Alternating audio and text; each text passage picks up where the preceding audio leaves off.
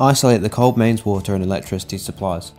Place the tap into the sink tap hole and secure in place below the sink using the removed screw fittings.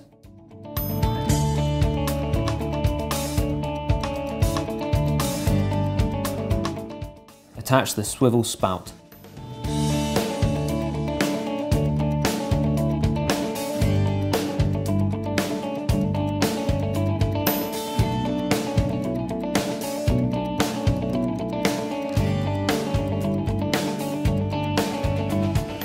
Connect and turn on the cold water feed.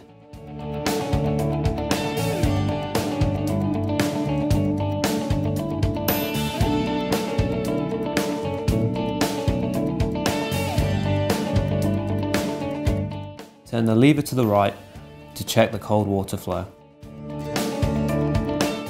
Connect the electrical supply via the fitted plug or remove the plug and connect to a 13 amp fused spur. Turn the lever to the left for heated water and the heating LED light will illuminate. Turn the lever to the right for cold water only. As you increase the flow, the water temperature will reduce. If the water is too cold, reduce the flow by returning back towards the central position and the water will become warmer.